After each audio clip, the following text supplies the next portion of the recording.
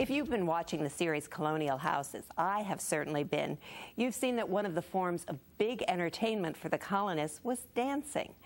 Not your prom variety or wedding style of dance or anything you would see on a music video, but rather traditional social dancing of colonial time.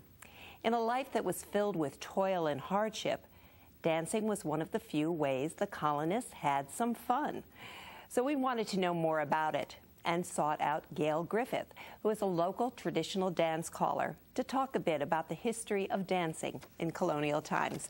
Gail, thank you for joining us. Well, thank you. Well, it, it's really evident from this series, and I'm sure from, from the things that you know, that dancing was the center of social life of colonial times. Mm -hmm. Why was why was that the case? Do you think?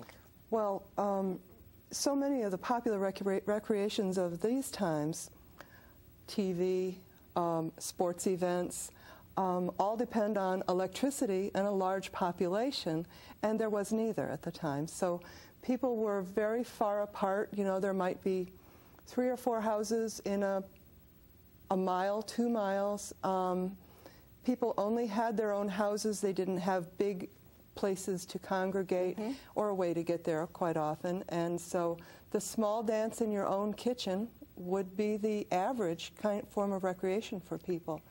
And, and it was really a thing too where where people participated. I mean, they didn't sit back and watch someone else do it. No. They got involved and, and danced. And also it really evolved around the music, right? Yeah, the music. Um, the colonists brought their, their own traditions from whichever country they started in. Um, England, Germany, Ireland, Scotland, all of them had their own forms of traditional music and dance that were reasonably closely related. Um, they had similar structure. Um, it's very easy for a person to go from one vernacular to the other in dancing. Um, so these were the, the music and the dance traditions that they brought with them from mm -hmm. Europe.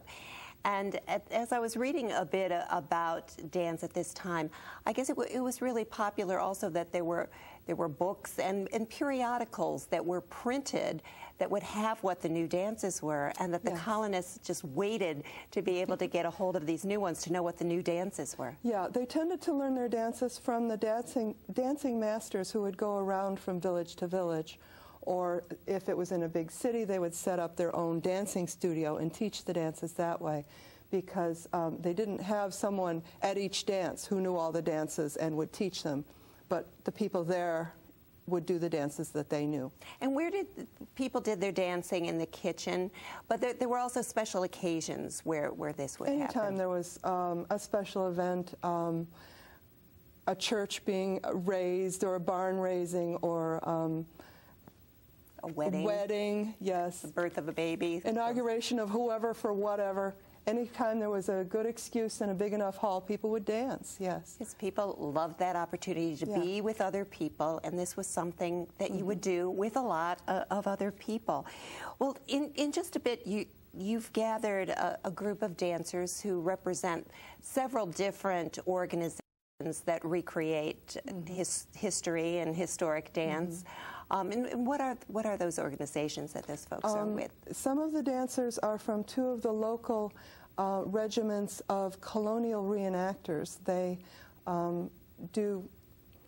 They set up encampments at uh, colonial reenactments, like there's one in Saratoga, there's one at the Stone Fort in Schoharie, mm -hmm. and they teach people about what life was like in colonial times. Um, so people from two of those local groups, and then some people who just very much enjoy doing the dancing of that era are here in costume as well. and what is the dance that we are going to see? Um, the dance is called Trenchmore or Hunting the Fox. It's from, it was first written down, but it was not new, in 1562. Wow. Yeah. Wow. So I'm, I'm, very impressed. Should be a pretty good dance. It's been around for a while, huh? Yes, it's stuck around. I, it's a very nice dance. I like it very much. Okay. Well, Gail, we're going to let you and, and the dancers entertain us with uh, giving us a flavor of what dance was like in, in those times of the colonists. So. Gail Griffith, thank you so much for joining us. Well, thank you for having us, and we'll be ha real happy to show you what the dancing was like.